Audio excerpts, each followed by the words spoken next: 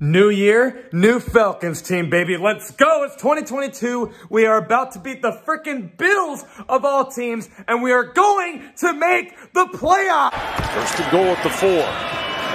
Singletary churning forward into the end zone for a Buffalo touchdown. Oh, nope. It's, it, I forgot.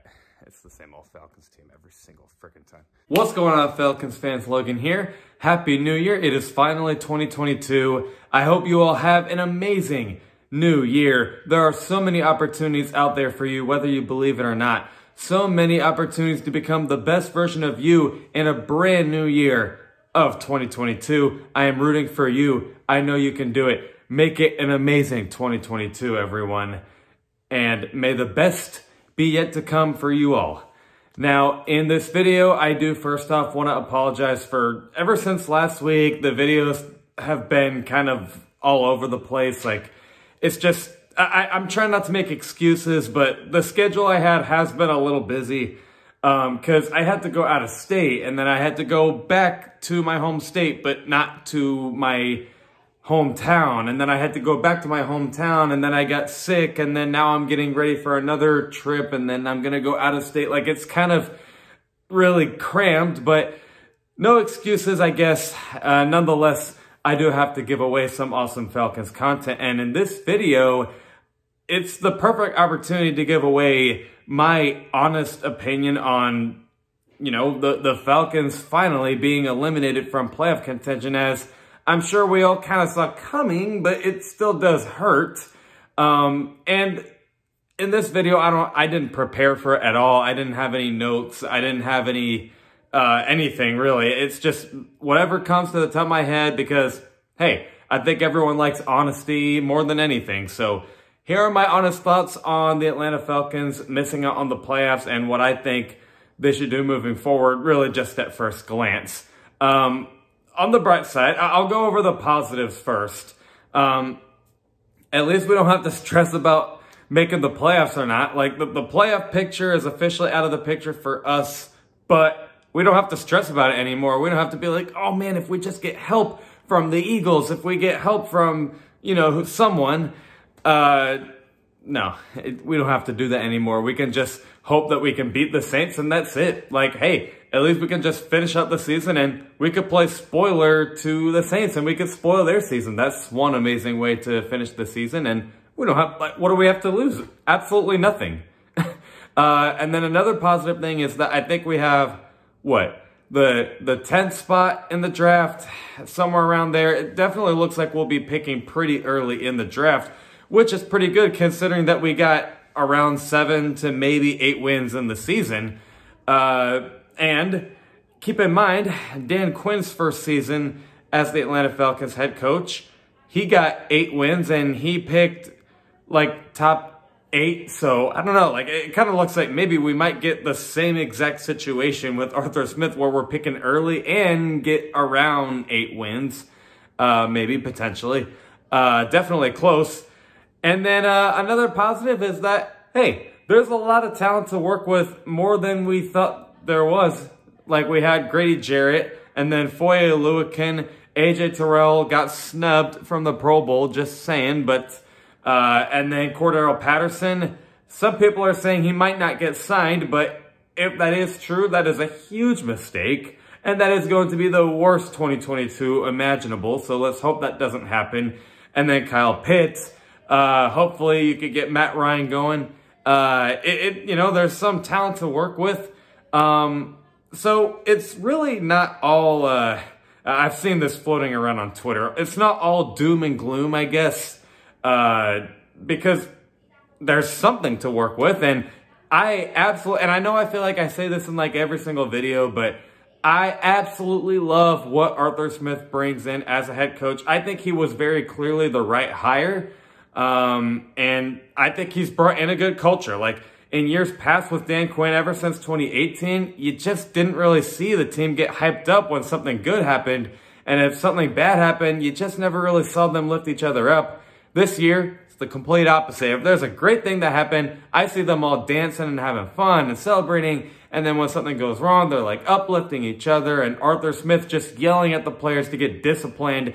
Don't celebrate just getting, you know, a second down and five, like some, like something kind of silly like that. But hey, it sounds like Arthur Smith is, you know, a really good head coach. And I guess we'll just have to see what else he can do. And, uh, we'll also have to see what more Terry Fontenot is capable of. But not a bad first year for him with Kyle Pitts and Richie Grant showing some promise, and you get the idea.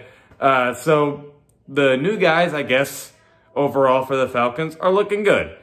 And uh, some veterans to work with as well. And um, I guess the division rivals are kind of like maybe sinking to the floor a little bit. Not the Buccaneers, but the Saints. Like, yeah, yeah, you could argue that it was just the Jameis Winston injury that made them go downhill, which yeah, could be true, but I mean, I don't know. Like, it, it, it might be hard for the Saints to find a, a, a, franchise quarterback to help them go forward.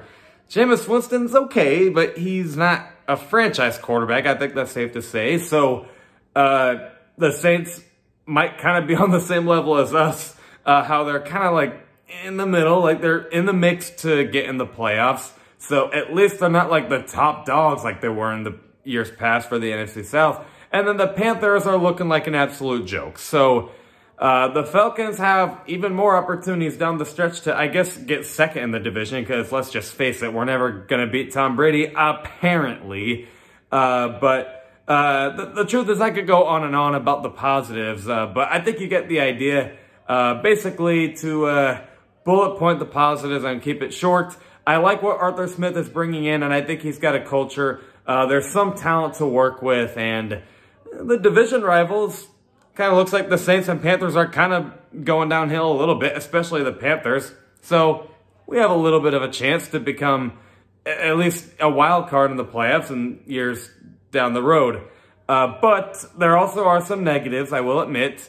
Uh, while I did also say that there is some talent to work with, I also won't shy away from saying that there is also a lot of things to fix on this roster. I mean, the, the safety situation, Jaylinn Hawkins and Richie Grant did show some promise, but, you know, like, it's not a guarantee. So the safety situation, in my opinion, is still kind of a question mark. And then cornerback number two is definitely a question mark. Like, we know who cornerback one is, but Isaiah Oliver, I don't know if you should keep him. And then uh, Fabian Moreau, no. Anyone else?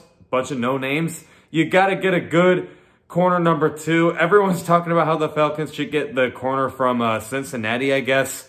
Uh, I admit that I haven't really looked at anyone's college tape, but like, um, I don't know. Like, I, I don't know if he's even going to be available when the Falcons are picking, but we'll see. But hey, um, if we are to get another good corner, I'm okay with it. The Falcons are actually somewhat good at drafting corners.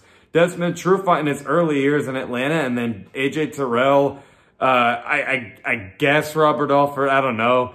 Uh, but, you know, like, they're somewhat good with corner, so you never know. Uh, Deion Sanders way back. So the Falcons can kind of make some good corners here. You just have to hope that if they are to get anyone in this draft, because there are a lot of great defensive players in this draft, maybe we could have AJ Terrell and another great corner. But I also do think that there is a much bigger problem than the secondary, and that would be the pass rush.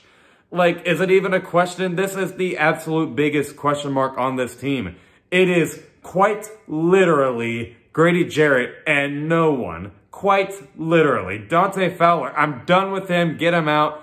Marlon Davidson, I know he's in his second year, but how confident are you that he's seriously going to get better? They're going to keep him, and I guess that is kind of the right thing to do because I guess you just never know, but I'm not feeling so good about him. And then everyone else, bunch of no-names, don't care. We need a better pass rush ASAP. Like, literally not even a question. Again, like I said earlier, at least the defense is filled with great defensive players. So we have a good opportunity to get one, but at the same time, the Falcons have been an absolute joke of drafting pass rushers, apparently. Uh, say what you will about Takk McKinley and Vic Beasley, but it is safe to say that they just simply weren't who they were supposed to be in Atlanta. I, I don't think anyone's going to argue that. Uh, and then, who else? Like Ra'Shede Hageman. like, really? And then, uh, uh, I'm sure there's someone else that was going to come to my head. I, I, just can't think of it. But anyway, um, oh, yeah. Adrian Clayborn, you know, like, he showed up here and there, but, you know, like, what, what was he really going to do for us? Uh, it's a joke. We have got to fix that pass rush ASAP. And then surprisingly, a position that we kind of do need to fix pretty soon. I never thought I'd say it, but linebackers. Now, only one though, because I do like the potential that you got in Michael Walker. And then you know just as well as I do, I am a huge Foye Oluokun stan. I'm not going to beat that to the bush. I think you all know my stance on him. But Unfortunately, Deion Jones had a pretty bad season. I, I'm not even going to lie. He, he really actually was pretty bad. Uh, and I've always been kind of lower on his tackling ability, I guess. Like, I always thought he was kind of like poor at tackling. And it was at an absolute low this season. His cover skills weren't even good this season.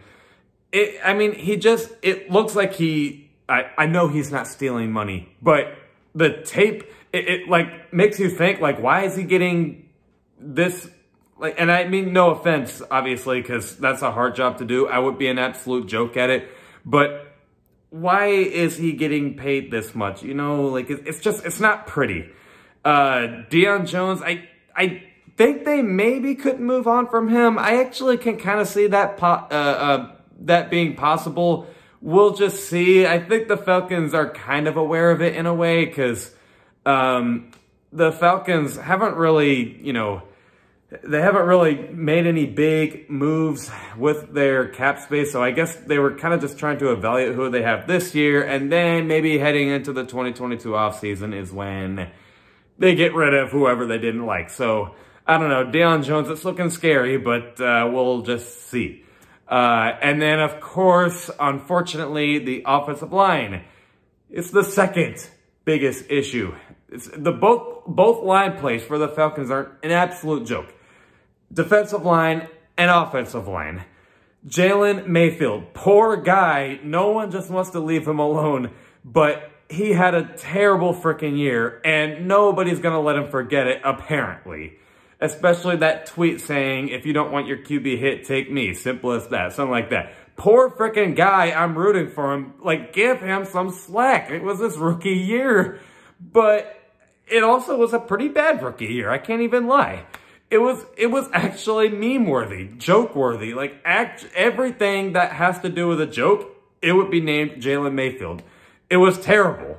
So if he does not improve in year two, that's an easy need at offensive line, his left guard. Jake Matthews, I like Jake Matthews, but he's not going to be with us for much longer, and unfortunately, he's not going to get any younger. So you gotta either win right now with him or you maybe have to find his replacement really soon. Uh, center Matt Hennessy, I'm done with him. Like, I don't see how he's gonna get better. Gotta get Drew Dalman some snaps. Chris Lindstrom, great player. Kaleb McGary, done with him. So, there's a lot of things to fix with that offensive line. And then, even the receivers have been okay, but not the best. Uh, Olamide Zaccheaus steps up for a little bit and then also proves that he's just not the the uh, the wide receiver that you need. And Russell Gage had a great second half of the 2021 season, but not anyone that I would say you can rely on 24-7, if that makes any sense. And I will continue to keep my mouth shut on Calvin Ridley because I respect you know, his uh, decision to leave and help his mental health, so I will not comment on that. But uh, Kyle Pitts and, you know, uh, Cordarrelle Patterson are really the only uh, receivers that you basically had all year. That kind of shows you you need to get some receivers.